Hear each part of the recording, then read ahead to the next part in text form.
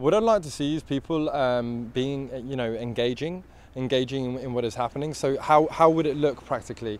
Um, I'd like to potentially run a series of workshops or events or nights where we all come together, we discuss certain issues. I obviously come from the background of displacement and the mass movement of people, but I'm also looking for other uh, people who are involved in the humanitarian sector. We can all come together and discuss, you know, what skill sets do we have?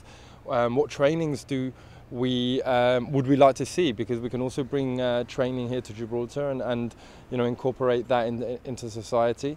Um, so yeah, you know, bringing people together, opening a dialogue, and allowing people to to, to step into into what I've been doing in the last few years. We've seen this summer that migrant arrivals to Spain by sea have increased, an issue that's touched Gibraltar directly. So more urgent than ever. Yeah, so obviously that's that was always inevitable, and we've spoken about that in the past, and it probably will increase uh, even more in the future. We'll just have to keep an eye on it. I would just say, you know, that we need to be prepared. We need to be prepared psychologically. We need to be prepared, um, you know, more practical sense. I hope the government starts taking steps to dealing with uh, these situations in a far more sustainable and human way. Um, you know, there are many people with experience out there that are able to help in this situation. So um, yeah, let's, uh, let's create a dialogue for that and let's see how it goes. What facilities and skills would you like to see Gibraltar have to deal with this situation? Okay, I think it's really important that, that you know, we get the message out there that we can have a positive response to this. It doesn't have to be a negative response.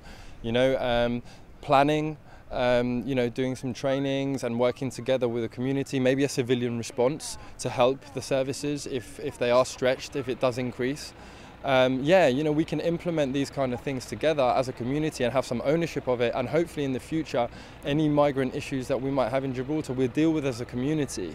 And we can take pride in dealing with a response in a humane way rather than criminalizing uh, the situation. You know, we, have got the ability to do that. The resources are there. Um, we just need to get together, put our heads together and, and get it done.